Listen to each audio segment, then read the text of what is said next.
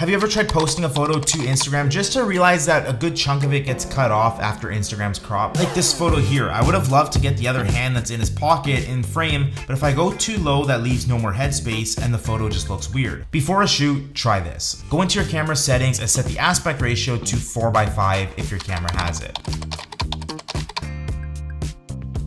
The best part is that if you're shooting in RAW, you can always revert back to that original size or that aspect ratio in post, making sure that as long as your subject is in frame, you won't have to worry whether or not they'll fit.